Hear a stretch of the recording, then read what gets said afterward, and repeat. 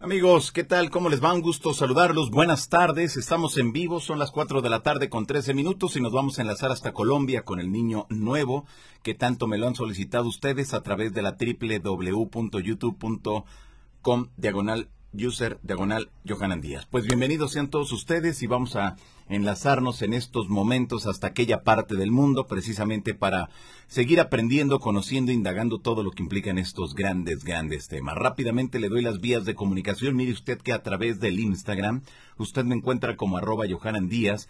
En el Twitter estoy como arroba Johanan Díaz. Así que, bueno, pues la invitación para que usted se quede aquí en este canal que es Johanan Díaz igual. Y el correo electrónico johanandíaz.gmail.com, el Facebook Johanan Díaz Oficial. Y aquí el boletín de la insólita experiencia, más 52 55 44 65 77 50.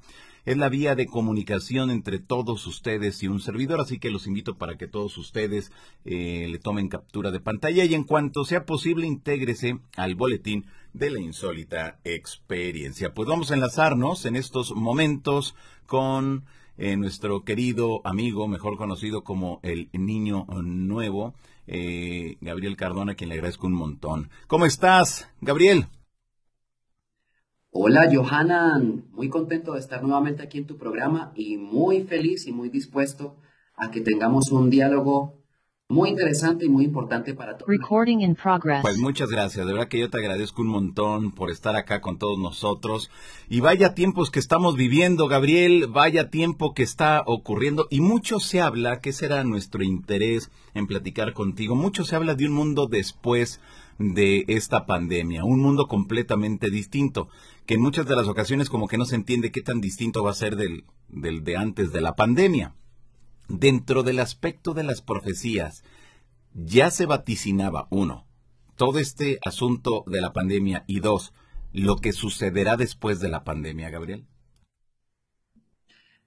Bueno, tenemos que decir que sí, porque como claramente lo he expuesto, los hombres que enviaron las profecías saben lo que hay en este planeta, saben de la invasión o de quienes están detrás de todos, de todas estas argucias con las que se engaña al mundo entero.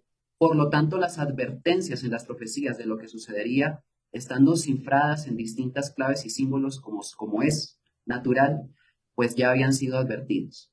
Desde Parravicini y muchas otras, esto ya ha sido anunciado. Con respecto a lo que sucederá después, indudablemente que sí. Entonces, bueno, estoy dispuesto a que abordemos las preguntas en torno a esos dos puntos que tengas por ahí en la lista. Perfecto, muy bien se habla siempre después de la, de, la era de la pandemia, pero que no es algo nuevo, es realmente algo que ya se viene manejando desde hace mucho tiempo. Una tercera guerra mundial. ¿Realmente habrá una tercera guerra mundial? Sí. Entonces, vamos, vamos por partes. Voy a hablar un poco en clave para que no te tumben este programa, para que quede para la posteridad de la gente.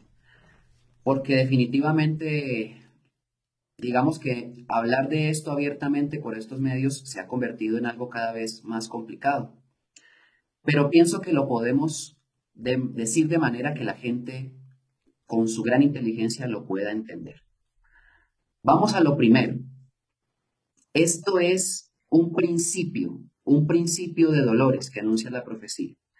Dicho de otra manera, lo que Parravicini también expuso, el inicio de la gran peste. Y como tal, la peste no es el asunto que en este momento nos, nos tiene acongojados o con miedo o con enfermedades. No es ese.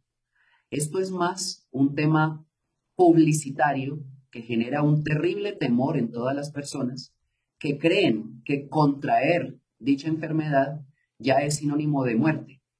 Pero lo que es sinónimo de muerte no es tal enfermedad y la prueba de eso son las estadísticas que establecen que el 98% de las personas que les da COVID viven, viven, y solamente el 2% pues corren este riesgo, riesgo solamente de perecer. Es decir, que no estamos hablando de esa gran mortandad, pero sí estamos diciendo, o más bien la profecía está advirtiendo, que una gran peste, dice Parravicini, se suscita a partir de esto.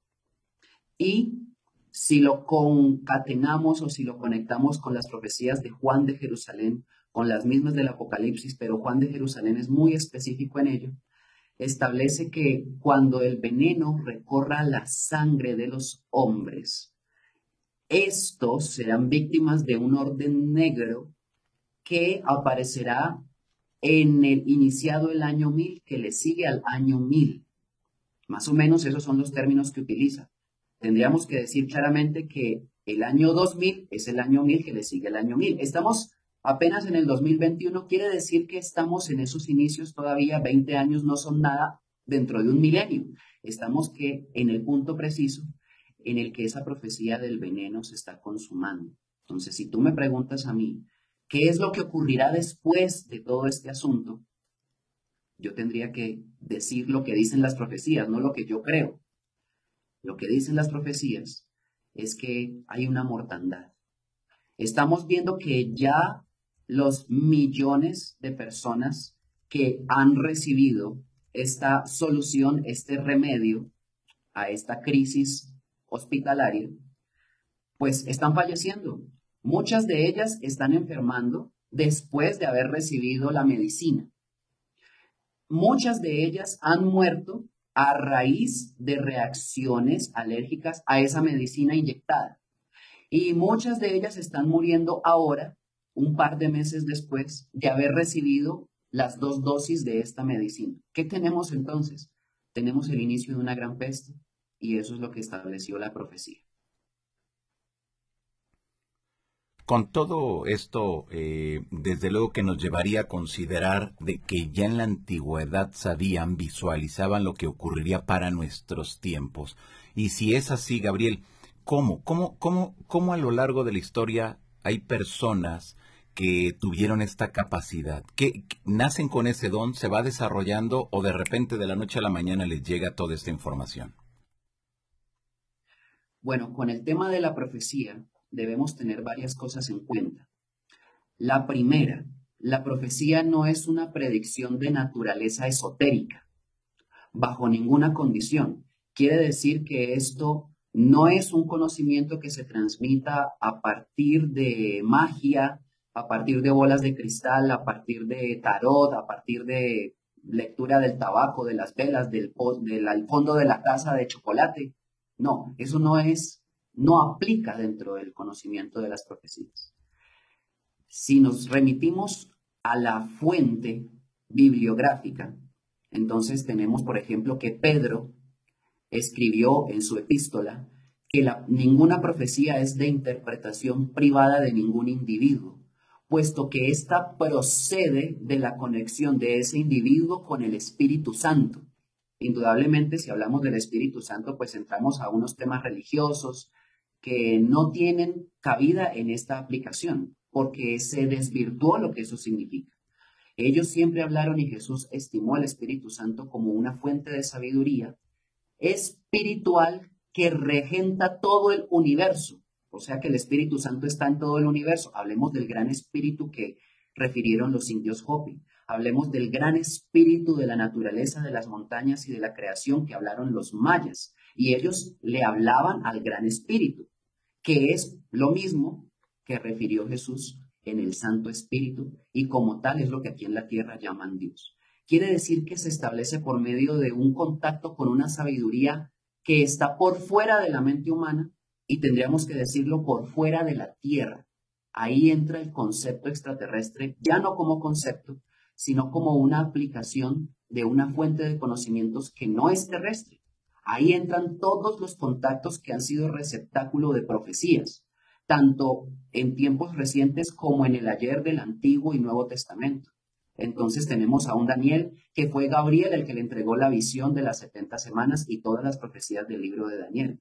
Gabriel físicamente hablando. Entonces es un hombre que se mueve en platillos voladores porque él claramente refirió que cuando llegaba venía volando con presteza, sino que la gente cree que es un angelito que vuela con alas de pollo y de pajarito y yo he dicho que eso no funciona, eso es imaginario. Estos hombres se mueven en naves, estos hombres viajan entre planetas y son como tal mensajeros interplanetarios y podríamos entonces concluir que la profecía es una sabiduría transportada desde otros mundos y desde una fuente espiritual que conoce el universo para el planeta Tierra para advertirle de lo que aquí sucede y para que esos que reciben las profecías puedan dar la voz de alerta al mundo entero sobre el tiempo en el que todo eso se va a suscitar. Y así es como funciona la mecánica de la profecía. Ok. Sería entonces información llegada de otros mundos, así tal cual. Y ellos visualizan que o saben perfectamente lo que ocurrirá a un futuro a partir de su tecnología quizá. Ellos saben lo que ocurrirá. Definamos quiénes son ellos, ellos. Bueno, si hablamos de profetas, el principal de todos, que yo siempre le advierto a las personas, les digo a las personas, que aquí en la tierra hay millones de seguidores de Jesús. Hablemos de múltiples religiones. Todos conocen a Jesús y hablan de Jesús. Pero cuando escuchan hablar de profecías, las rechazan y no caen en cuenta que de todos los profetas Jesús es el principal. Entonces Jesús es un profeta. Las profecías que él dejó, entre ellas la principal, que es la del Apocalipsis, son muestra de lo que significa que es un profeta. Entonces no es que tengan alta tecnología para poder, digamos, predecir el futuro. Es que ellos hablo de profetas como hombres de otros mundos que han o venido o encarnado en la tierra, proceden de lugares en los cuales ya se han librado cruentas guerras o batallas muy duras con la fuerza extraterrena que invadió el planeta Tierra. Entonces estamos hablando de seres que ya tuvieron guerras contra el dragón que el Apocalipsis advierte que es extraterrestre y que está aquí.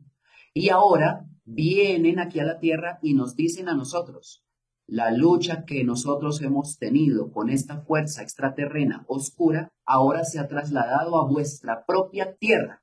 Y ustedes, como han creído que están solos en el universo, no se han dado cuenta y esta fuerza se ha aprovechado de tal inocencia y de tal ignorancia, porque ha sido fatal que se crea en este planeta que somos los únicos en el universo. A partir de allí, ellos nos explican lo que está aquí porque lo conocen.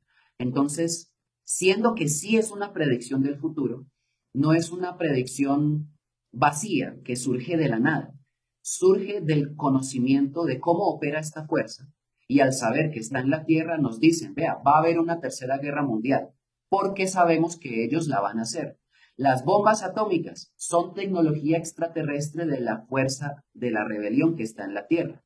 Todo lo que son los gobiernos y las élites que dominan y están detrás del nuevo orden mundial es el mismo esquema que se ha usado para invadir otros mundos. Ahora en la Tierra está, como ellos conocen perfectamente todo, en la profecía está la advertencia. Y eso es lo que nosotros vemos como una predicción del futuro realmente es un aviso de cómo operan estas fuerzas en la Tierra para que nosotros sepamos cómo defendernos ante eso. Muy bien, siempre las profecías se van a cumplir o habrá profecías que nosotros, a partir de que las conozcamos, podemos ir modificándolas, Gabriel. Entonces yo te voy a responder esa pregunta con un ejemplo. Antes del ejemplo, lo primero que tengo que decir a las personas que de repente están viendo por primera vez una transmisión y me están escuchando hablar acerca del tema de profecías, que la profecía procede de una fuerza de luz. La fuerza invasora extraterrena que está detrás de todo el sufrimiento de, este, de esta humanidad no hace profecías, no tiene profecías. Al contrario, detesta las profecías porque como tal éstas los delatan a ellos y nos enteran a nosotros de la existencia de ellos. La profecía viene de una fuerza extraterrena de luz que necesita que nosotros supervivamos y superemos todo esto. Por lo tanto, la profecía fue otorgada a la humanidad terrestre para concederle el don de ver el futuro, así como lo oyen, sin necesidad de magia, de hacer cursos de milagros y de un montón de cosas, o de tener poderes sobrenaturales. Ella nos concede el don de ver el futuro solamente con estudiarla y comprenderla, para poder, ahí entra parte de la respuesta a tu pregunta, para poder modificar el resultado. podemos modificar el resultado. Ese es el objetivo de la profecía. Entonces, aquí viene el ejemplo. Y voy a explicar claramente qué significa modificar el resultado y eliminar o cambiar una profecía, que son dos cosas distintas. Johanan, ¿qué pasa si yo te digo, supongamos que yo soy profeta? Sí. Es un ejemplo.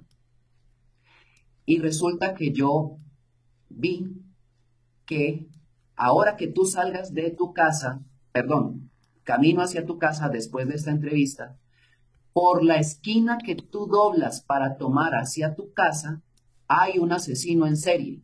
Y yo lo vi. Entonces yo te digo, Johanan, ten cuidado. Hay un asesino en serie en aquella esquina donde tú siempre doblas camino a tu casa. Y ese asesino en serie está dispuesto a matar al que pase por esa esquina. Ya. Yo di el anuncio. Ya di la voz de alerta. Y resulta que verdaderamente allá hay un asesino y el asesino es real. Tú tienes dos opciones, y este ejemplo es para cualquiera que nos esté escuchando. O me hace caso del aviso que di y toma por otro camino alternativo para no pasar por esa esquina, o hace caso omiso y pasa por esa esquina. Como tal, la profecía es que ahí hay un asesino en esa esquina y va a matar al primero que se pase por ahí. Al que atendió el llamado, va por otra parte y se salva. Al que no atendió el llamado, pasa por esa esquina y es asesinado. En ese sencillo ejemplo, lo que acabo de describir es cómo funcionan las profecías. La profecía es una advertencia. Que yo quiero modificar la profecía, no puedo. Tendría yo de alguna manera que hacer que ese asesino no esté ahí. Pero es que me están diciendo que ahí va a estar. Y voy a ver, y ahí está.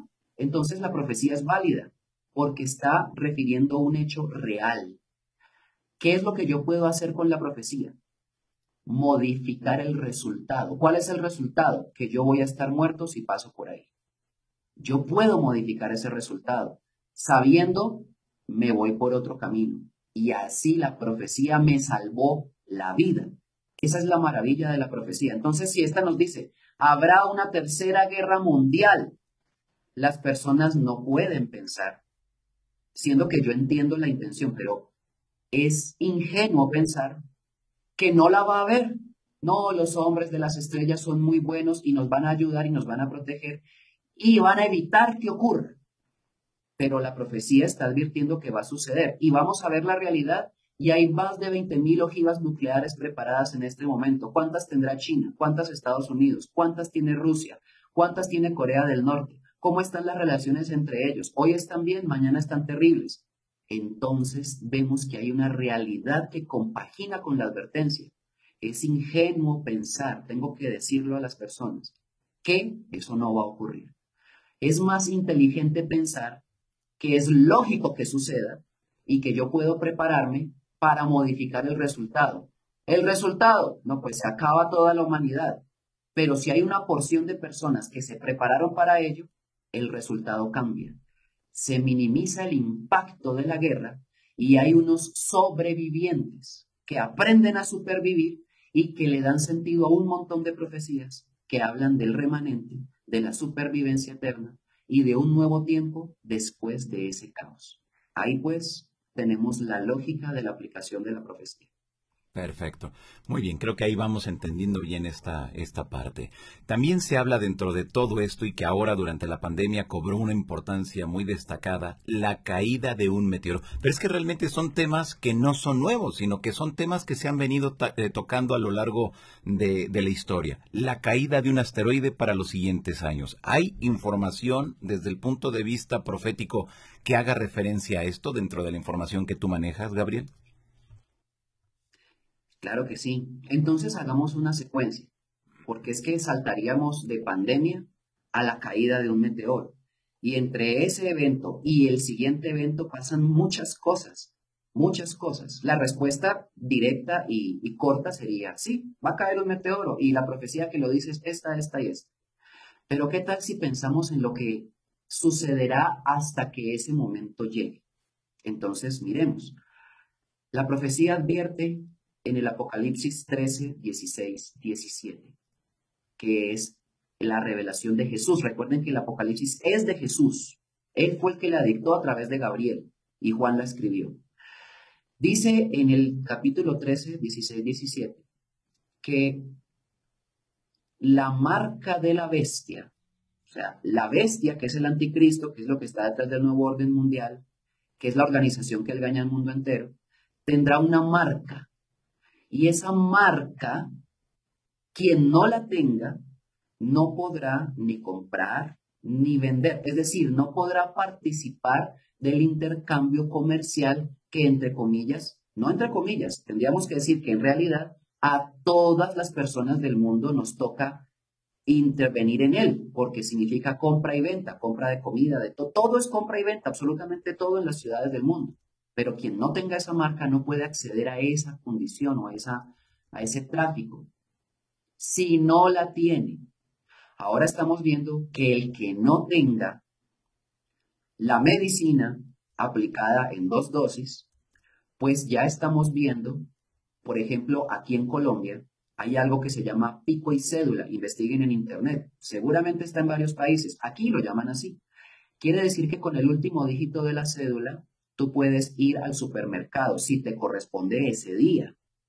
Si es un día par, solamente pueden ir los que terminan en código par de su cédula. Si es impar, igual en el impar. Y abajo dice la nota de la alcaldía. Si ya tiene su carnet de vacunación, no tiene que sujetarse al pico y cédula. Puede ir a comprar libremente al supermercado. ¿Qué estoy viendo yo? Que efectivamente esta es la marca. La marca que es algo que identifica a la persona con un algo que de tenerlo puede acceder al mercado. De no tenerlo, no puede. Y estamos viendo que con el tiempo para tomar viajes en los aeropuertos, es decir, para tomar aviones, para poder hacer trámites para poder hacer, acceder a préstamos y un montón de cosas, incluso para ir al trabajo, que ya las empresas están exigiéndole a sus empleados tener su respectiva medicina, entonces si no la tienen, perderán su empleo y todo lo demás.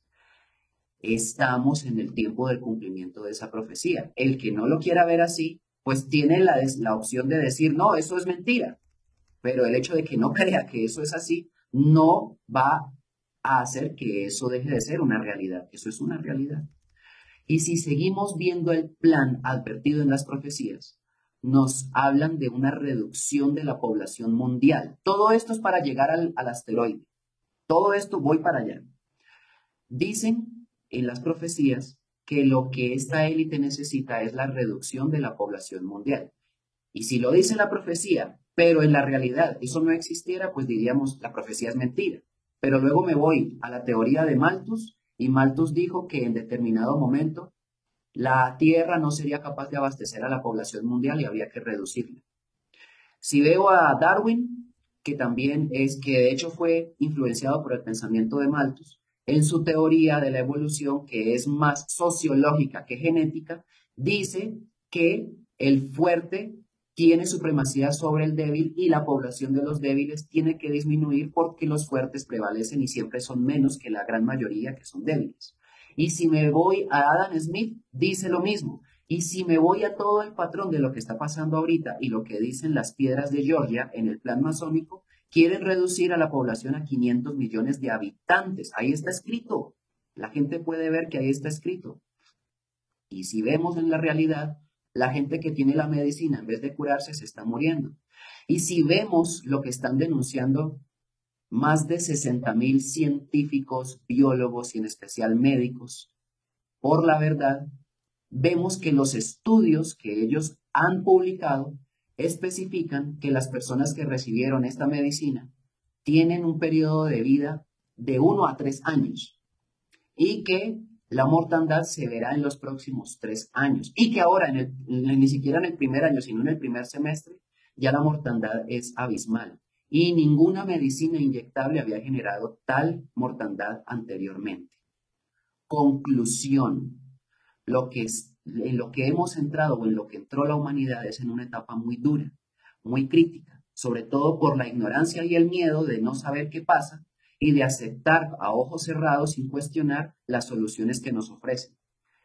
Y eso va a conducir a la reducción de la población mundial.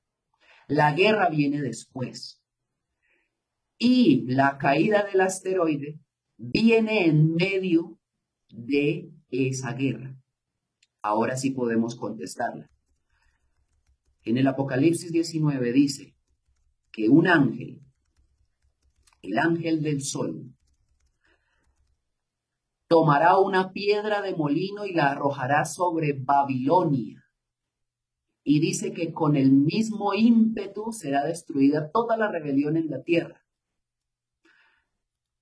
También tenemos a Parravishini, que nos habla de un cataclismo, en el que un cuerpo celeste o un satélite se acerca a la Tierra y la golpeará y cambiará su eje.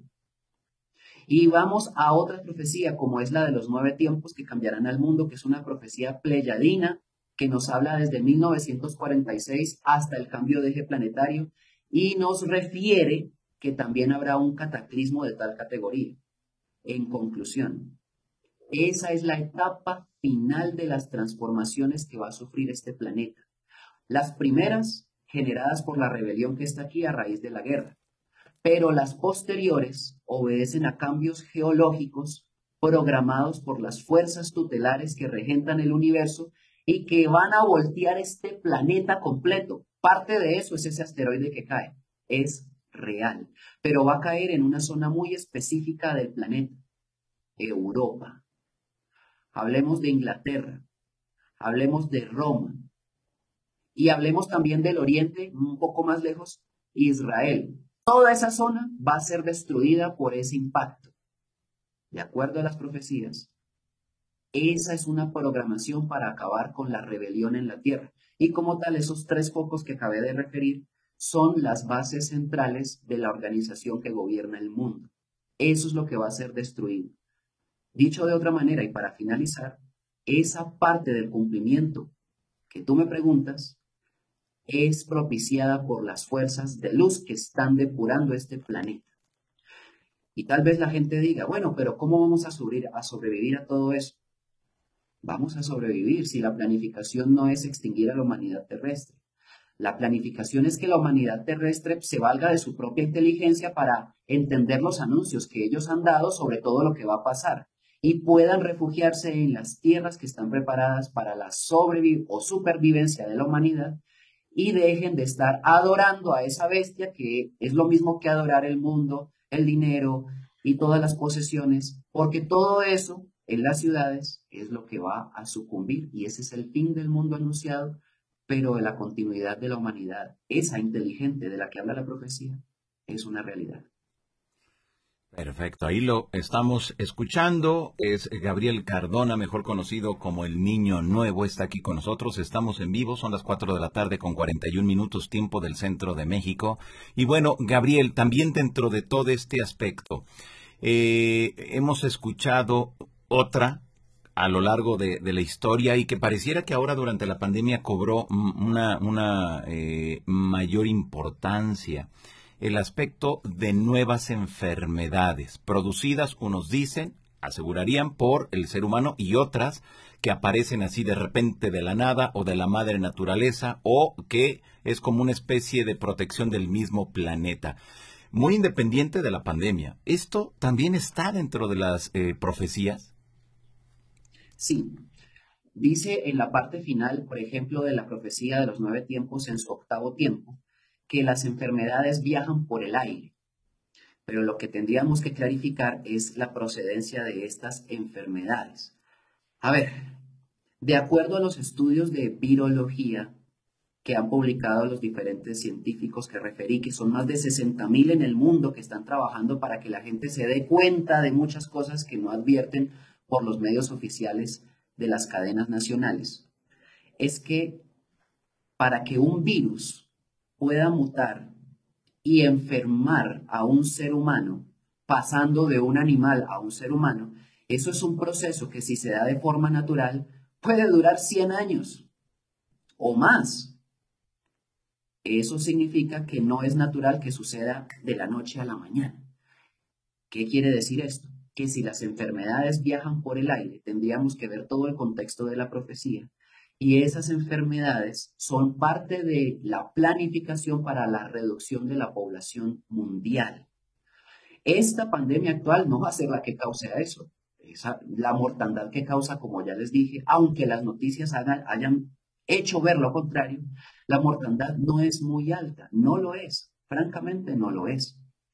Pero habrá entonces otras enfermedades que sí la causarán. Yo ya dije y retomo que la medicina inyectable, y todos ustedes me entienden, es parte de lo que causará la gran mortandad. Eso va a desatar otras enfermedades diferentes, distintas al virus. Ya en este momento la estamos viendo. Se está hablando de trombos, trombosis, muchos están muriendo a raíz de ello. Se está hablando de enfermedades de tipo alérgico a esa sustancia. Y ya, aunque esto aparentemente podría ser una especulación, yo considero que no es una especulación. Muchas personas están sufriendo de un magnetismo artificial, que ya muchos videos están rondando que son legítimos, en la frente, en el brazo, donde se le pegan cucharas, monedas, celulares y un montón de cosas. Y ya estamos viendo cómo los estudios científicos están revelando que las antenas 5G van a ser activadoras de los metales pesados que estando circulando ya por el torrente sanguíneo van a generar efectos terribles sobre la salud humana en el momento en el que sean activados por radiofrecuencia. Y para nadie es un secreto, hasta en bachillerato se estudia que estos metales responden o son susceptibles, funcionando como antena receptora, a estas ondas. Así que tenemos un plan que estamos viendo que funciona. Van a haber enfermedades. Yo no podría decir cuáles, qué tipo de enfermedades. En la mente perversa de estos científicos que trabajan constantemente para poder enfermar a la gente, no sé qué están planificando, pero yo tendría que decir que es real y que deberíamos prepararnos. Y la preparación no es haciendo caso lo que nos dicen de lo que hay que hacer allá en los medios. La preparación es fortalezca su mente para que deje el miedo. Es que el miedo mata antes que la enfermedad. El miedo genera una toxicidad en las células por la segregación de adrenalina. El miedo mata más rápido que cualquier otra cosa. Dejen el miedo, infórmense y dejen el miedo. Primero. Segundo, fortalezcan su sistema inmunológico. Entre más fuerte esté el cuerpo, más poderoso es para combatir cualquier enfermedad que nos quieran meter, así sea la peor. Tome sol. El sol activa las células NK o natural killer, que son las células que naturalmente combaten todo tipo de agentes externos que nos quieran enfermar. Aliméntese bien. O sea, hay tantas cosas que el hombre debería hacer y se puede proteger, pero la principal es infórmese bien Deje de creer todo lo que le dicen por televisión y sobre todo deje el miedo. Ame más, quiera más, entienda y comprenda y tolere más. Y usted es más apto para supervivir, aunque sea, no importa qué peste nos tiren en el aire, podemos contrarrestarla. Exactamente. Exactamente, ahí lo tenemos entonces. Otra de las cosas que también se ha mencionado eh, y que me gustaría que nos des, más luz es sobre las subidas de las aguas a nivel planetario, por lo cual desaparecerían ciudades, países enteros. Algunos dicen que sería por el deshielo, eh, por el cambio climático, otros asegurarían que sería por este impacto de este asteroide, otros asegurarían que es simplemente por un cambio natural de la conformación de nuestro planeta. Las profecías, ¿qué dicen al respecto, este Gabriel?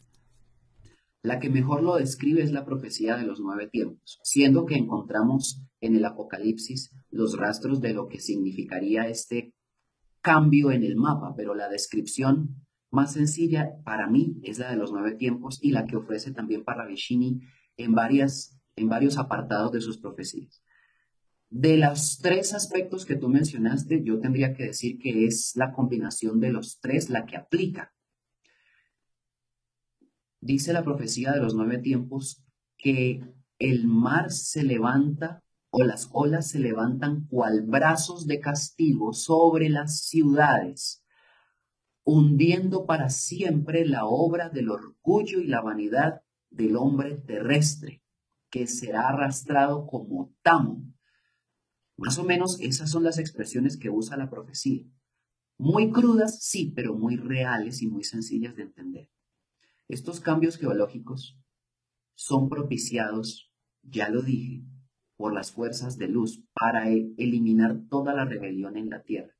La rebelión en la tierra se esconde en bases en los países que mencioné hace un rato en la pregunta anterior y también en bases intraterrenas. El cambio de eje planetario genera una torsión del núcleo de la Tierra que ejerce una presión sobre las capas internas de la corteza terrestre digamos que aplastando o triturando todo lo que haya ahí. Estamos hablando de bases intraterrenas, de la rebelión. Eso como tal los va a destruir por completo. Y el mar, vamos entonces a, bueno, a imaginar que mi puño es el planeta, ¿sí? Pero el planeta como tal tiene un eje que está a 23 grados y medio según los científicos. Es decir, que él gira en torno a su eje, pero con una leve inclinación. Bueno, el cambio de eje planetario significa que el planeta va a hacer esto, va a hacer esto, y se va a verticalizar. Y así como usted tiene una, un vaso con agua, que si voltea, pues el agua se va a desplazar en el sentido del eje que usted esté llevando en la dirección, pues todos los mares se van a correr y se van a desplazar, de manera que prácticamente todo el mapa de la Tierra va a cambiar. La profecía de los nueve tiempos, al final en el noveno tiempo, establece que cuando todo se ha aquietado, los hombres sobrevivientes salen de los remanentes a poblar las nuevas y fecundas tierras. Hablan de nuevas tierras, nuevas. Esos son los continentes que fueron hundidos hace más de 12.000 años y si hablamos de Lemuria hace más de 90.000 años, Lemuria emerge nuevamente del Océano Pacífico. Y ese es el continente que será poblado por los sobrevivientes. Europa queda completamente hundido. Norteamérica queda completamente hundida. Lo que es Asia, África, Oceanía quedan completamente hundidos. Lo que emerge de la Tierra es Lemuria, lo que los Hopi llamaban Cascara o el continente Lemur, que es un grandísimo continente, muchísimo más grande que la Atlántida, posiblemente tres o cuatro veces más grandes que la Atlántida. Y el único continente que queda sin hundirse, sin hundirse, programado por las fuerzas de la luz como el refugio de todo el remanente planetario que logre sobrevivir y que haya entendido que tiene que moverse hacia esas tierras para supervivir, es América del Sur. América del Sur. Y todo el plan de supervivencia de la profecía es ejecutado por gente latinoamericana. Latinoamericana, es decir, que los latinos desde México hasta el sur, en la Patagonia, tienen la responsabilidad dentro de la profecía de preparar todas las tierras de refugio, de supervivencia para toda la gente del planeta que logre salir antes de que se hunda su continente, antes de que le caiga la bomba nuclear, antes de que se desate la destrucción, pueda salir de ese lugar y llegar a estas tierras en ese tiempo final. Cuando se haya consumado toda la obra de cambio de eje terráqueo, esas personas que quedaron en el continente suramericano, pero que son de todo el mundo, o sea, de todos los continentes que lograron llegar allí, van a desplazarse hacia las nuevas tierras que emergieron del océano. Yo les pregunto, todo el plan, cuánto plancton y fitoplancton que los que saben y han estudiado esta parte de la biología hacen que la tierra tenga una fertilidad única. De hecho, el plancton se desplaza en el aire para darle fertilidad hasta inclusive a los desiertos que se encuentran al otro lado del continente donde está el océano del que viene todo el plancton que ha absorbido esa tierra durante los miles de años que ha estado hundida, le van a dar una condición única de fertilidad. Va a reverdecer en un tiempo no contado por la gente de lo rápido que va a ser. En un abrir y cerrar de ojos tendremos un continente pleno para albergar la vida. No va a faltar comida, no va a faltar refugio y no va a faltar inteligencia en la gente que queda. Esa es como tal, Johanan, la parte final en el que se cumplen todas las profecías. Y de ahí en adelante ya no hay más profecías porque todas las profecías se acaban cuando se cumple la final. Perfecto. En esa final entonces es cuando llega ese paraíso terrenal que también se habla mucho, que después de todas estas estos grandes cambios planetarios vendría una era de amor, de paz y de unión. Yo le haría una pregunta a las personas que nos están escuchando, que deben usar su lógica, su inteligencia y su capacidad para razonar en el sentido común que se, pierde, se ha perdido muchísimo últimamente. ¿Será que la humanidad terrestre existe, fue creada para que sea exterminada por un cambio de eje planetario y ese sea el fin de la historia de una humanidad, de un planeta? ¿O será que la humanidad terrestre existe con el único propósito de ser aplastada, humillada, violada, enajenada y finalmente extinguida por una raza extraterrena que nos gobierna y ni nos hemos dado cuenta? ¿Será que los propósitos de la creación son tan inverosímiles como para que la existencia de un hombre en un planeta sea tan miserable y tan baja. Eso no tiene sentido. Ahí es donde la profecía cambia el modelo de pensamiento y la gente la puede entender. Ninguna profecía anuncia la extinción de la humanidad. Anuncia la extinción de lo que ha matado a la humanidad. Ahí es donde aparece el nuevo cielo y la nueva tierra sobre la que me preguntas. La han llamado de muchas formas en distintas profecías. Nuevo cielo y nueva tierra es lo que dice el Apocalipsis, pero los mayas hablaron de un nuevo amanecer. Los hopis hablaron de un nuevo tiempo. Parravicini habla de una nueva era, todo nuevo. Jesús dijo que él hacía nuevas todas las cosas. Entonces es real. La humanidad terrestre va a continuar después de la guerra, después del caos. Se va a extinguir totalmente la oscuridad en este planeta, o sea, la organización que mataba la vida y la gente que queda y las futuras generaciones van a vivir de acuerdo a las leyes en las que viven los demás planetas, las otras humanidades de otros mundos que no tienen el problema que tenemos nosotros aquí. Van a vivir en medio del amor. El crimen va a dejar de existir. Es que en otros mundos no hay asesinos, no hay corruptos, no hay bandidos, no hay políticos, no hay sistema económico, no hay dinero. Eso no existe porque eso no es necesario. Eso es un invento de la rebelión en la Tierra. La tierra da todo gratuitamente al hombre, tanto alimento como refugio como hogar. Y el hombre aprenderá a convivir conectado con las leyes que la sostienen y que mueven la vida. Entenderá el sentido de la vida y entenderá las razones de la muerte y eliminará la muerte. Y sobre todo, comprenderá el verdadero significado de Dios, eliminará las religiones y vivirá una espiritualidad profunda en comunicación con Dios, con quien se habrá reencontrado. Esa maravilla es lo que dice el noveno tiempo de la profecía y como tal está muy cercano en vista de que esta pandemia, estas enfermedades y esta guerra, que son señales del fin de los tiempos, ya están presentes como señales, entonces está muy cerca esa nueva era de la cual tanto se ha hablado, pero que es real solo para los que logren supervivir a esta situación que está sucediendo. Claro, muy bien. Ante esto, ¿tardará mucho? ¿Faltará mucho para esa nueva era? Bueno, yo tendría que decir que yo no sé cuánto falta. Es decir, yo no sé si faltan cinco años, diez años, veinte años, pero sí puedo decir algo. A ver, es que esto funciona no con predicciones, como ya lo he dicho, funciona usando la lógica. Si yo dijera una fecha específica, ya sería Gabriel el que la dice y sería una conjetura personal. Yo podría equivocarme porque podría ser un error en la lectura de los tiempos. Entonces, más bien yo no digo fechas, pero sí puedo decir lo siguiente. Las personas que nos están escuchando, ¿Hay tensión y rumores de guerra en Medio Oriente entre Israel y los países árabes? ¿Sí o no? La respuesta es sí. Claro, algunos dirán, la hay desde hace dos mil años, pero no es válido, porque en el momento en el que se intensifica y la declaración como tal es real, ya es un acontecimiento específico de un tiempo. Y estamos hablando de este tiempo y es real.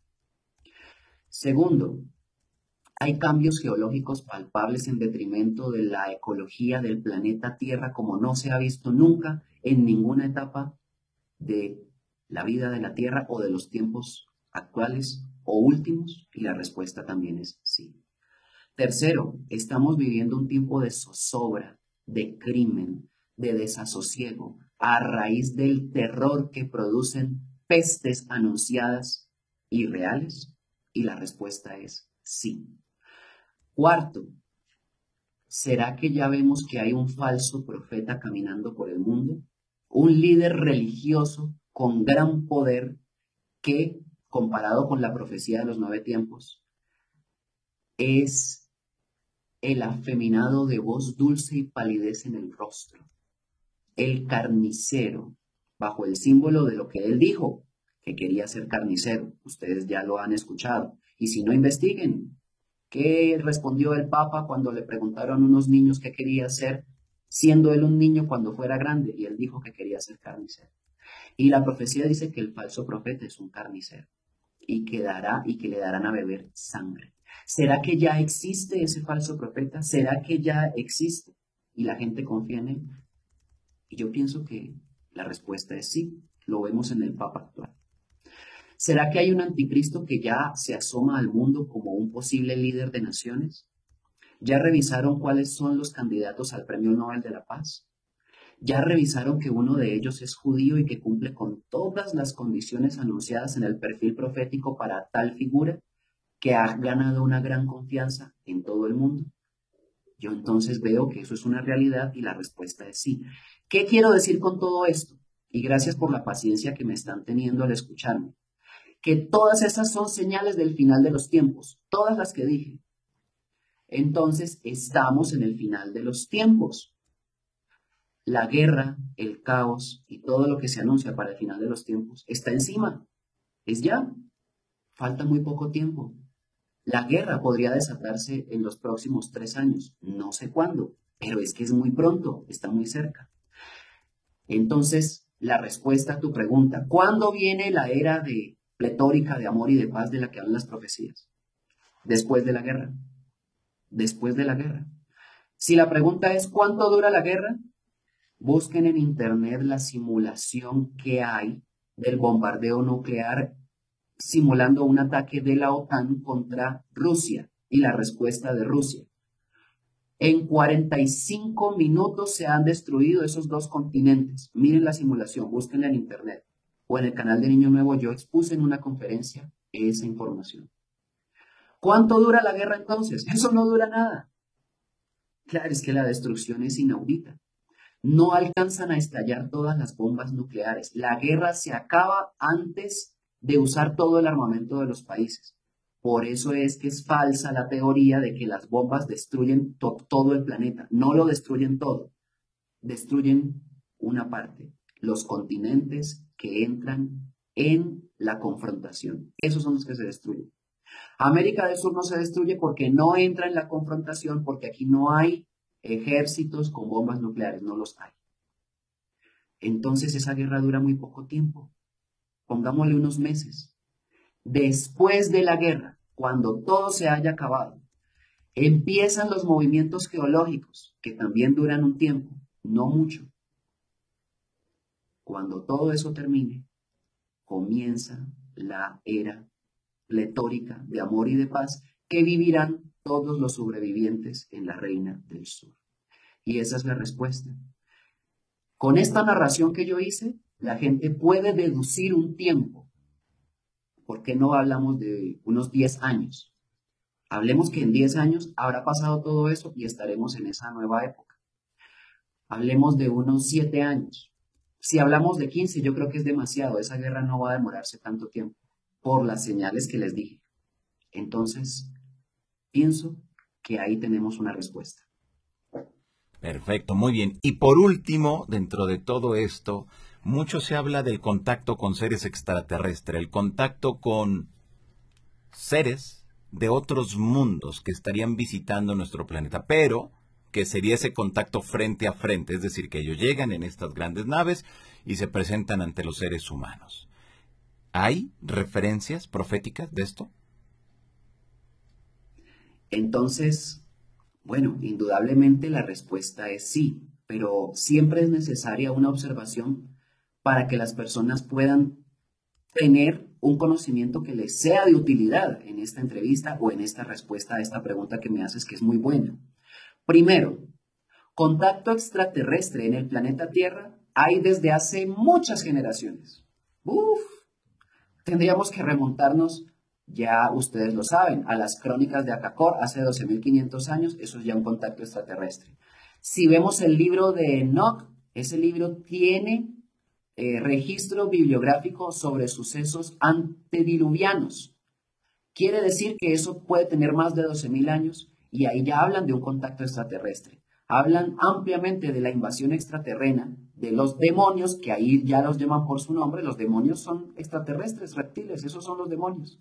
Y de los ángeles de luz, Rafael, Gabriel, Uriel, Miguel, Raguel, Saraquiel, Fanuel, que Enoch los veía y hablaba con ellos y ya tenemos un contacto extraterrestre. Tendríamos que ver toda la historia de los contactados hasta este último tiempo y ahí tenemos evidencias del contacto extraterrestre. Y tendríamos que hablar de la invasión a la Tierra y ya tenemos que hay presencia extraterrena hace miles de años en el planeta. Entonces, esto no es un tabú y esto dejó de ser un misterio. La gente debería ver esto ya como una realidad y como algo, ah, usemos la palabra normal que la gente vea un platillo volador por ahí en el cielo y en vez de alarmarse así y tomar el celular para sacar una fotografía y eso pues motivo de congresos de ufología y todo eso, no. La gente debería decir, chao, chao hermano, que te vaya bien, como ver un avión, como ver un helicóptero. Esa debería ser la actitud de la gente en esa madurez a la hora de enfrentar un contacto extraterrestre. Pero como no es así, como todo es fenomenista, como todo es fanatismo y como no hay madurez espiritual para afrontar un contacto extraterrestre. Y eso lo saben estos hombres de la luz.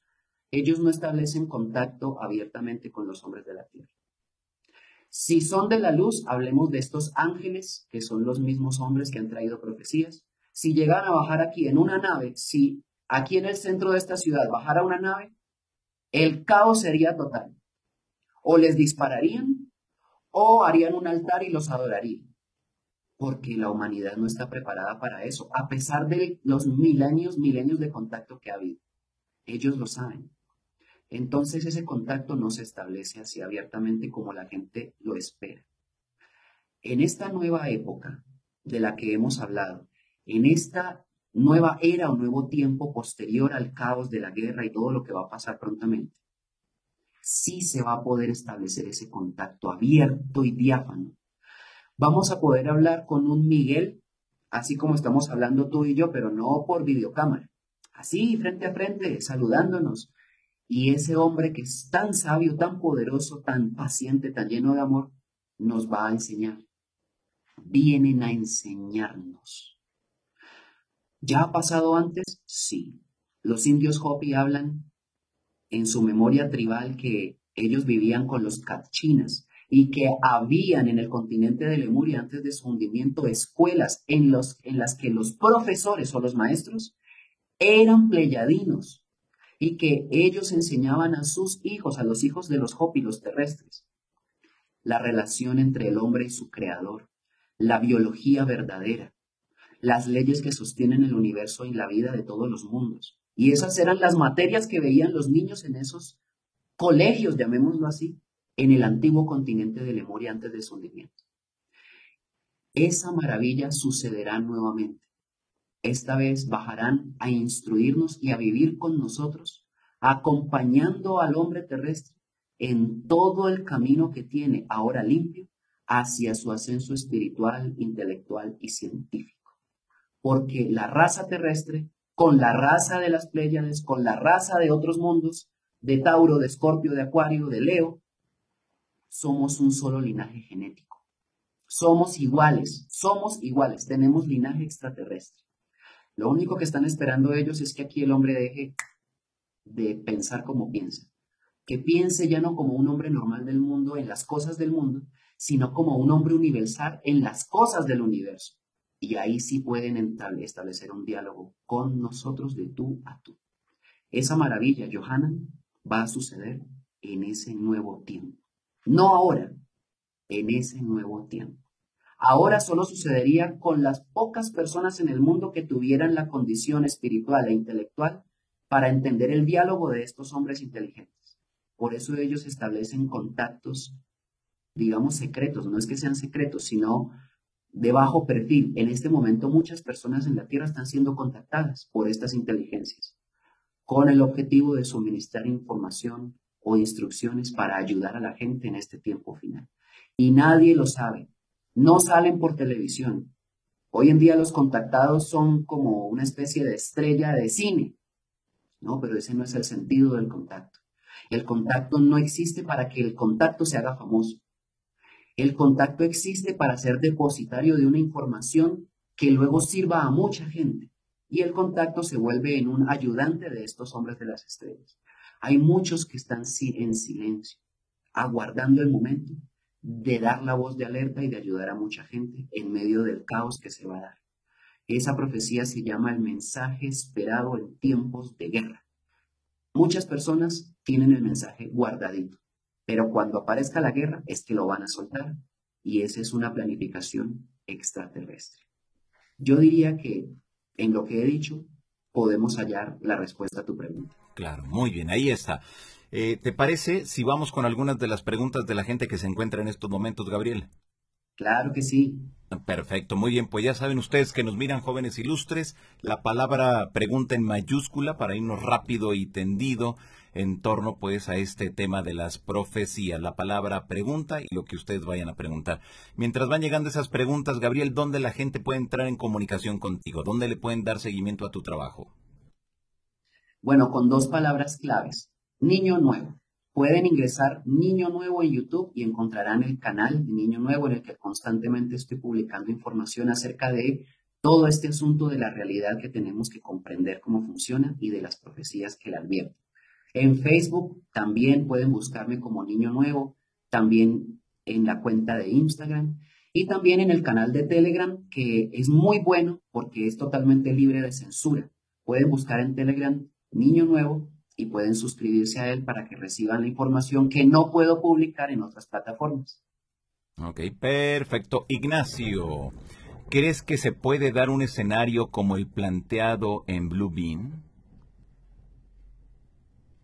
¿En dónde? En Blue Bean, te pregunta. No sé si sepas algo. Ah, en Blue Bean. Blue Bean. Sí. Bueno, entiendo por Blue Bean, pero puedo estar equivocado el proyecto que la otra fuerza tiene para que por medio de holografías y de un montón de cosas hagan creer a las personas sobre invasiones extraterrenas y sobre un montón de cosas que posiblemente y por medio de engaños puedan usar. Yo no sé si la persona que está haciendo la pregunta, si yo la estoy interpretando bien, pero suponiendo que es así, yo diría que sí, por supuesto. A ver, es que el Apocalipsis 12.7 es muy claro, es muy claro. Dice que Miguel y sus ángeles lucharon contra el dragón en el cielo, o sea que eso no fue en la tierra. Es una batalla extraterrena.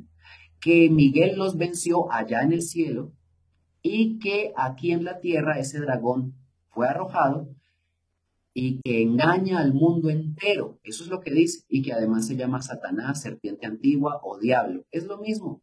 Es la organización que engaña al mundo entero. ¿Cómo lo engañan? Bueno, la pandemia como tal es un ejemplo muy específico de cómo lo hace y ya científicamente están todas las pruebas. Esta otra mm, mecánica, digamos, tecnológica, holográfica, también es una forma de engañar. Y yo creo que ya la están usando en muchas ciudades para poder generar grupos o ejes de fanatismo en torno a cualquier suceso que ellos puedan inventarse y que finalmente la, la gente crea que es real. Al mismo tiempo tienen tecnología, posiblemente se salga un poquito de la pregunta, pero puedo agregar que ellos tienen tecnología para mover los elementos. Se llama armas HARP. Las armas HARP pueden generar lluvias torrenciales donde ellos quieran. Al mismo tiempo pueden generar terremotos. Y muchos terremotos posiblemente han sido aquellos que han sido, eh, entre comillas, han favorecido estratégicamente a posiciones de guerra de los Estados Unidos como el de Haití, generado con estas armas HARP. Tenemos el proyecto de Bill Gates que quiere tapar el sol, supuestamente para ayudar a menguar el efecto invernadero. Y ya hicieron hace pocas semanas los primeros ensayos. En conclusión, tenemos que ellos tienen la tecnología para hacer muchas cosas que engañen al mundo. Como tal, es factible que hagan lo que sea. ¿Qué nos toca a nosotros? Saber eso. Es que si somos inocentes nos van a, cualquiera nos engaña. Ahí sí no hay manera. La ignorancia es el arma más poderosa que ellos usan en contra de nosotros. Entonces, esa es la respuesta, es un sí. Perfecto. Nico TV, ¿qué porcentaje de acierto con sus predicciones o profecías existen? Bueno, en primera, estas no son profecías de Gabriel, eh, son las que se han dado a lo largo de la historia. Eso debe de quedar muy claro, jóvenes ilustres. ¿eh? Adelante, Gabriel. Muy buena la aclaración que acabas de hacer, porque lo que yo hago es un estudio y una lectura de las profecías a raíz de la comprobación histórica y científica que por años yo le he dado seguimiento a las mismas y he visto la seriedad del contenido que éstas tienen para la humanidad y al mismo tiempo la relevancia para la misma. Para la misma. El porcentaje de cumplimiento, 100%. Es que no hay margen de error. Si nos vamos a tecnicismos en cuanto a fechas, ustedes podrían decir, no, si no se cumplen. Ejemplo, el 2012 que se iba a acabar el mundo y no se acabó, no se cumplieron. La pregunta es, ¿cuándo?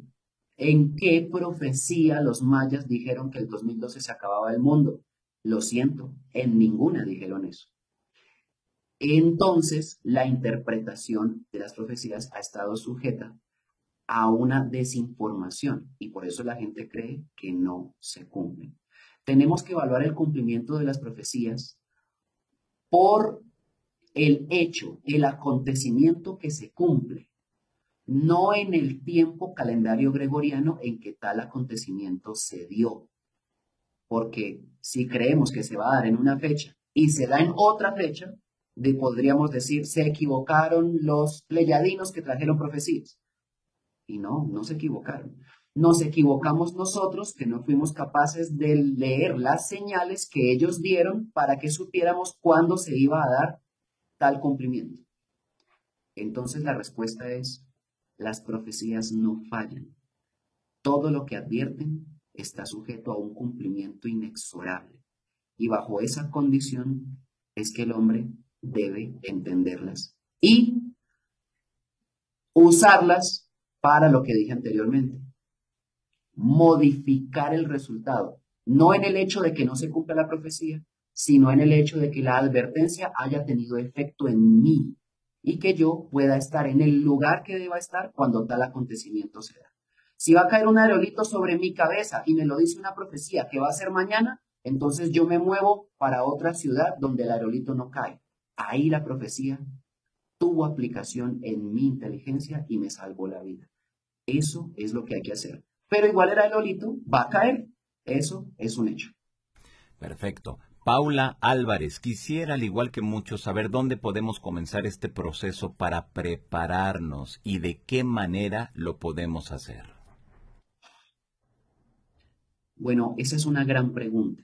Yo le agradezco mucho. A ver, ¿cómo nos preparamos para todo esto? Es que digo que es una gran pregunta porque eso es lo más importante de todo. Lo primero es que podamos tener conocimiento pleno, libre y bien entendido acerca de estas profecías. Ese conocimiento no nos lo ofrecen las religiones, no nos lo ofrecen los grupos espiritualistas, No nos lo ofrecen los maestros ascendidos, avatares, gurúes, chamanes o líderes de alguna categoría en algún grupúsculo de la tierra. Y yo tengo que decirlo con esa claridad. ¿Qué nos lo ofrecen? Un estudio personal guiado por la lógica y la inteligencia del individuo. Eso sí funciona. Quienes tengan esa cualidad pueden simplemente interesarse por estudiar toda esta documentación. Y al mismo tiempo, únanse entre ustedes, pero los que tienen esas condiciones, esas cualidades y el interés en prepararse para un plan de supervivencia y de ayuda al mundo. No es salvarme yo, entonces ya no funciona. Es que yo pueda ayudar a salvar a muchos. Ahí es donde funciona. Porque si solamente me intereso en mí, ya estoy solamente pensando en, en egoísmo, en mis hijos, en mi familia. Entonces yo voy a irme a la punta de una montaña porque creo que allá me voy a salvar y me voy a alejar de todo el mundo. Y resulta que por no estar apercibido de las leyes que sustentan a los remanentes espirituales, que son las personas, yo voy a perecer allá solo. Bajo esa condición, hay que unificarse todos en un solo propósito y eso ya estamos hablando de corazones. Corazones que quieran ayudar, corazones que quieran servir, corazones que sientan que quieren salvar a mucha gente, aunque no tengan mucho para dar, pero lo sienten. Esa clase de corazones son los que pueden entender este plan. Esto es un plan. Por lo tanto, si la persona que preguntó está interesada, eso es lo primero que debe tener en cuenta, que debe tener un corazón muy grande para amar y eso le va a permitir tener la inteligencia para entender este plan. Digamos que en ese sentido, en la página de Niño Nuevo, niñonuevo.com, ahí yo ofrezco la opción de que quienes quieran profundizar en todos estos conocimientos de las profecías, estos que me han escuchado decir por las páginas del mundo, de Internet, entonces se inscriban allí. Tenemos grupos de estudio, son grupos de estudio en muchos países, especialmente de Sudamérica, pero también hay en Estados Unidos y hay en Europa. Nos unificamos para estudiar las profecías y desentrañar el plan que en ellas se contiene, con el objetivo de prepararnos y ayudar a preparar a muchas personas a afrontar esta situación difícil que ya se vino para el mundo. Si están interesados en participar de esos grupos de estudio, pues inscríbanse en la página de niñonuevo.com. Ahí dice un botoncito, yo soy 144 mil, hagan clic ahí y si nos dejan un correo o un dato, un teléfono, ahí ya les vamos a avisar dónde nos estamos reuniendo en México, en Colombia, en Perú, en Ecuador, en Bolivia, en Argentina, en Chile, en Panamá, en España, en Estados Unidos y donde ustedes estén, si hay por ahí algún grupo cerca de estudio, ahí entonces los van a llamar para que se sumen y se integren. Esa es una opción tangible que digamos que yo puedo ofrecer para quienes quieran profundizar en este conocimiento y prepararse. María Alejandra Minervini. ¿Hay que irse a lugares por arriba de los 800 metros sobre el nivel del mar? Eso es bueno, partiendo del hecho lógico que significa lo que dice la profecía de los nueve tiempos, que las olas golpearán cual gigantescos brazos de castigo a las ciudades. Eso sucederá con las ciudades costeras ineludiblemente, pero también el mar entrará varios kilómetros dentro del continente, digamos, mm, superviviendo aquellas zonas que se encuentren a cierta altura. Si hablamos de cierta altura, yo no podría estimar un patrón estándar, porque eso va a depender de la distancia que haya a la costa. Por ejemplo, si hablamos de un país como Bolivia, una tierra que esté sobre 800 metros es muy buena, porque Bolivia no tiene mar. Y es más difícil que el mar llegue hasta el punto en el que Bolivia está. Entonces, esas zonas a esa altura son buenas. Pero si hablamos de un país como Colombia, tendríamos que buscar más altura, posiblemente sobre 1200 metros, porque Colombia tiene dos mares a ambos costados y eso significaría que el mar va a entrar. Dicho de otra manera, eso obedece más hacia lo que las profecías establecen como aquellos territorios de supervivencia. Tenemos que Argentina es un gran remanente, pero tenemos que en Colombia hay sitios de remanente, tenemos que en Perú y en las antiguas ciudades inca hay sitios de remanente, tenemos que Brasil es un gran continente de que albergará mucha gente en esperanza, tenemos que Venezuela, están muchas profecías, como una fuerza interior que es capaz de cobijar a mucha gente. Entonces, es una respuesta que requiere más tiempo de dedicación a simplemente decir una altura, pero más o menos ya di una medida que podrían utilizar. Perfecto, vamos con las últimas dos preguntas, Gabriel, y una de ellas tiene que ver con este aspecto de, a ver, déjenme aquí. Bueno, se, se trabó aquí el, el, chat, pero, ah, ya le encontré. Leonardo Reynoso, Parravicini nombra para la Argentina el hombre gris. ¿Crees que él cumplirá un papel esencial para Latinoamérica? Pienso que sí. Me han preguntado mucho sobre el hombre gris. Estoy muy atento a los sucesos en Argentina para, porque le estoy haciendo seguimiento a esa profecía. No sabemos quién es el hombre gris, pero posiblemente sea alguien que tenga un rol fundamental a la hora de guiar a muchos hacia la verdad, por lo que la profecía dice de él. No, no lo sabemos. Tendríamos que, como en el caso de muchas profecías sucede, muchas de ellas no es posible encontrar su interpretación total o verdadera hasta que el acontecimiento no se sucede. Solo cuando se sucede el acontecimiento podemos encajar la profecía y entender la magnitud de lo que la profecía estaba diciendo. Entonces nos toca esperar un poquito a ver qué pasa con el hombre gris en Argentina. Perfecto, muy bien. Y bueno, acá en la Ciudad de México ya se viene una tormenta tremenda, tremenda. Muy bien, vamos y con la última. Dice Inés Crespo, ¿cómo podemos cambiar la conciencia ya que estamos programados para no asumir lo que está pasando? Eh, ¿Cómo? ¿Cómo entonces? ¿Cómo podemos cambiar la conciencia ya que estamos programados para no asumir lo que está pasando? Ah, bueno, esa es otra gran pregunta.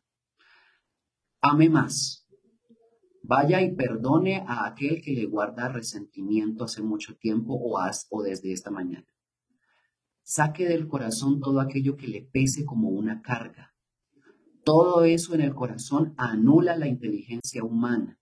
El odio, el resentimiento, el rencor, la tristeza, la desidia, la amargura, el estrés. Todo eso tiene un efecto nocivo y tóxico sobre las células de nuestro cuerpo que generan enfermedad y a la vez sobre las capacidades de intuición y de inteligencia del, individuo. Por lo tanto, la posibilidad de discernir y de comprender la realidad de las profecías, o ni siquiera de las profecías, de lo que está pasando en el mundo, va a ser muy complicado para los que tengan esas condiciones porque esas cargas de, de odio, de resentimiento, sumado al orgullo, a la prepotencia, a la envidia y al egoísmo, generan un velo en el hombre. Un velo quiere decir que está ensimismado en lo que a él le importa, para sí mismo y no para los demás. Ese velo lo coarta de inteligencia, lo, le anula la inteligencia y no puede entender nada. La respuesta es, vaya y practique la tolerancia, practique el entendimiento, practique el amor hacia los demás, si no sabe cómo amar a los demás porque cree que amor es sexo, flores, romanticismo, eso no es el amor. ¿Qué tal si pensamos que el amor es el servicio hacia los demás desinteresado? Una ayuda, una mano extendida para ayudar a otra persona, para hacerle entender lo que no ha entendido. Deje de juzgarlo y más bien tiéndale la mano. Eso le va a ampliar la mente y el corazón se lo va a abrir y le va a ayudar a ser muy inteligente. Y en otro aspecto, llénese de conocimiento. En la ignorancia absolutamente nadie puede hacer ningún cambio de ninguna clase. Nadie puede salir de un vicio si está sumido en la ignorancia de cómo lo consigue. Llénese de información, no de los medios de, televisión. Lea mucho acerca de profecías, lea mucho acerca de Jesús sin religiones. Lea mucho acerca de estos hombres profetas del ayer y mire sus vidas como fueron. Estudia a Jesús y a los demás y se va a dar cuenta que eso le va a servir mucho a su vida. Todas estas claves que estoy dando son muy sencillas, pero el que las practique enciende su inteligencia rápidamente rápidamente. Su voz interior aparece rápidamente. Es la voz del ser, del corazón, la que le habla y lo guía. Y así es como se puede preparar para todos estos acontecimientos. Por lo tanto, los que van a supervivir y van a vivir en esa nueva era son los más inteligentes y los más capaces en amor y en comprensión. Los envidiosos, los que no pudieron dejar de ser ignorantes, orgullosos, prepotentes, vanidosos, corruptos y adorar este mundo que se va a hundir, hablo del sistema, ellos no van a ver ese nuevo cielo y esa nueva tierra. Van a perecer. Solo queda lo mejor de lo mejor de la humanidad. Lo más parecido a Dios. Esa es la respuesta. Perfecto, pues ahí está. Pues Gabriel, nuevamente dinos dónde la gente puede entrar en comunicación contigo. Bueno, entonces busquen Niño Nuevo en YouTube. En Telegram tengo el canal nuevo de Niño Nuevo, en el que pueden ver toda la información que no puedo publicar por las plataformas comunes donde la censura siempre está cambiando. En Facebook igualmente Niño Nuevo y también en Instagram. Ahí pueden seguir mis publicaciones y pueden también establecer comunicación conmigo. Además de la página web donde ya referí, que encuentren el formulario donde pueden inscribirse para mayor información, para profundizar en estos estudios, www.niñonuevo.com. Perfecto, ahí está. Pues Gabriel, muchas gracias por habernos acompañado esta tarde de martes aquí con toda la gente que nos sigue a través del canal de la Insólita Experiencia. Yo te agradezco un montón y bueno, pues esperemos que pronto nos podamos ver frente a frente y que te des una vuelta por acá por México. Estoy anhelante de visitar México. Hace mucho, Johanan, que tenemos eh, en el pensamiento esta visita. No se ha podido dar por todo esto que ha sucedido, pero no quiere decir bajo ninguna condición que la haya dejado de lado. Está presente en mi corazón y en mi agenda y cuando suceda, con seguridad te vas a enterar al igual que todas las personas. Perfecto, muy bien, pues ahí está, eh, Gabriel. Te mando un fuerte abrazo, muchas gracias por haber estado aquí esta tarde. Igual, un algo extensivo para tu familia, de favor. Muchas gracias, Johanan, como siempre, por permitirme hablar a través de tu espacio toda esta información para la gente. Un abrazo a tu familia y para ti. Muchas gracias, Gabriel. Hasta la próxima. Chao. Gracias. Bye bye. Bueno, pues hemos escuchado a Gabriel Cardona, mejor conocido como el Niño Nuevo.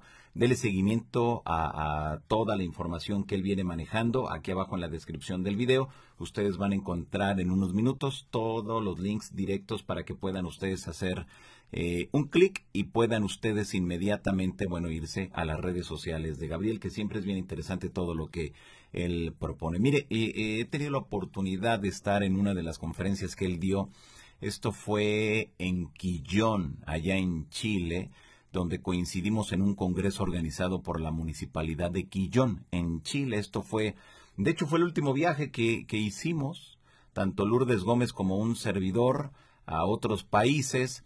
Fue en, en enero del 2020, porque semanas más tarde llegaría y se declararía ya la pandemia como tal.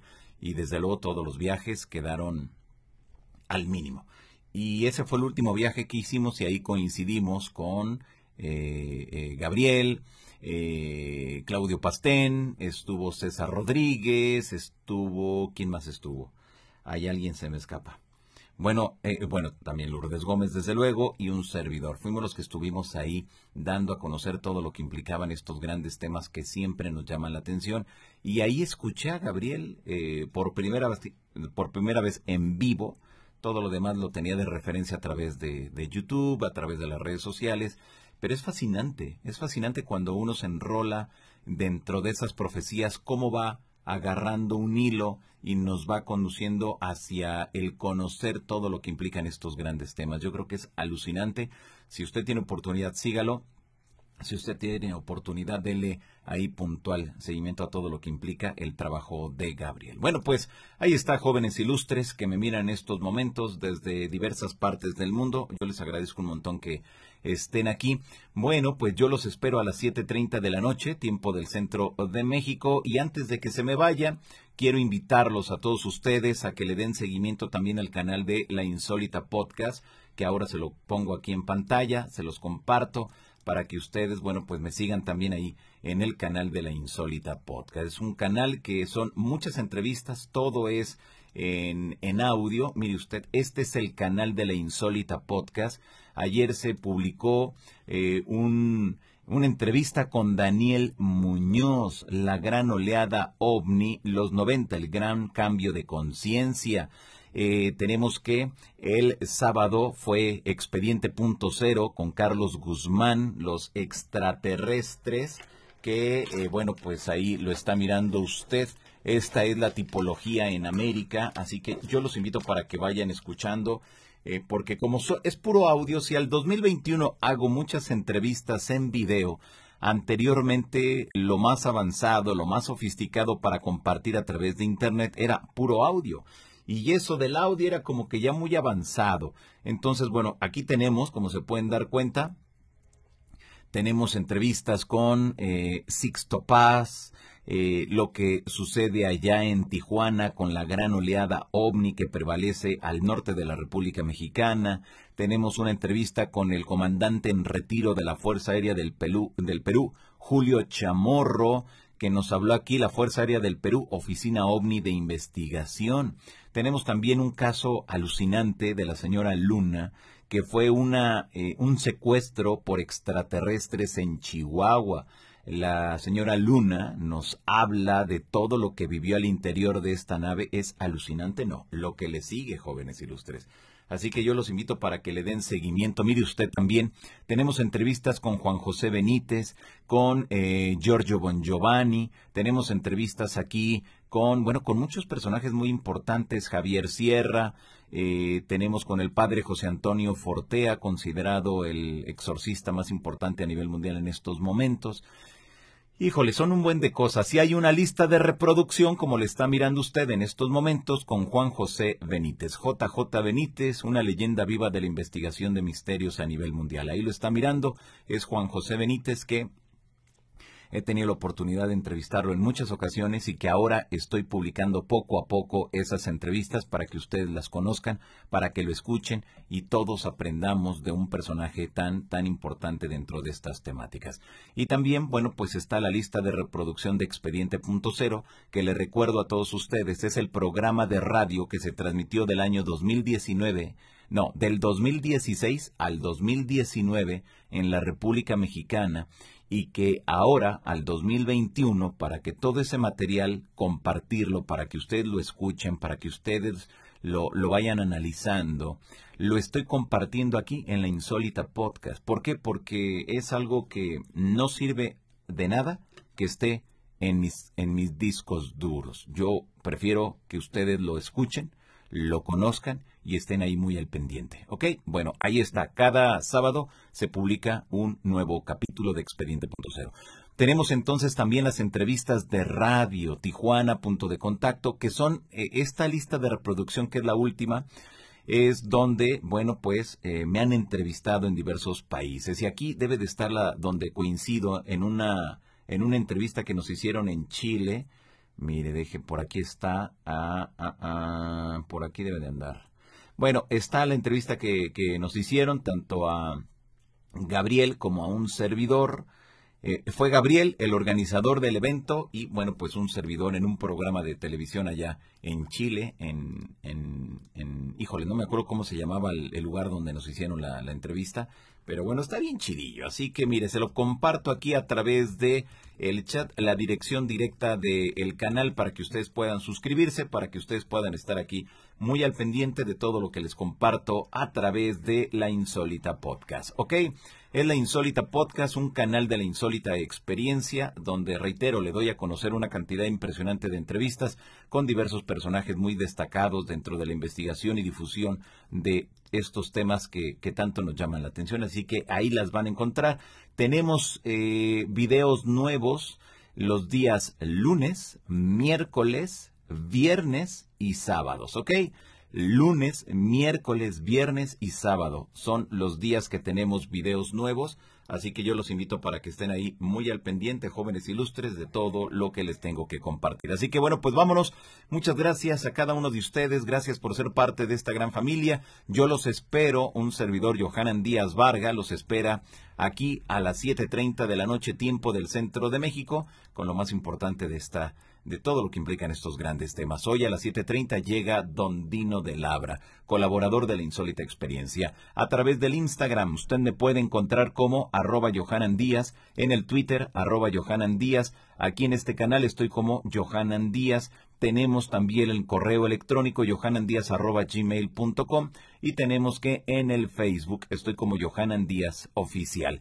Eh, lo invito también para que se sume al boletín de la insólita experiencia a través, jóvenes ilustres, de Telegram. Ahí lo está mirando, es el Telegram. Ahí es donde todos ustedes pueden integrarse, pueden ser parte de esta gran familia de las insólitas experiencias a través de Telegram. Es el boletín. El boletín es gratuito. Lo único que tiene usted que hacer es mandar la palabra alta a este número, más 52 55 44 65 77 50, desde luego a través de la aplicación de Telegram, ¿ok? A través, solamente a través de la aplicación de Telegram. Eh, al momento que yo reciba su mensaje con la palabra alta, estaré mandándole a usted un link con eh, precisamente directo eh, para que usted pueda suscribirse aquí al canal de la insólita experiencia. ¿Ok? Bueno, ahí está. Gracias, jóvenes ilustres. Les mando un fuerte abrazo y nos vemos aquí a las 7.30 con nuestro querido amigo y colaborador Don Dino de Labra, que hoy nos presenta un super tema. Y luego en la noche, a las 10.30 de la noche, llega y la doctora Ivonne Mantilla, que nos viene a presentar hoy los últimos mensajes pleyadianos que ha recibido. Es alucinante la información que ha recibido en las últimas semanas, así que no se lo pierda. Hoy a las 10.30 de la noche, la doctora Ivonne Mantilla estará aquí con nosotros. Muchas gracias a todos ustedes, les mando un fuerte abrazo, gracias por ser parte de esta gran familia de la insólita experiencia. Nos vemos más tarde, bye bye.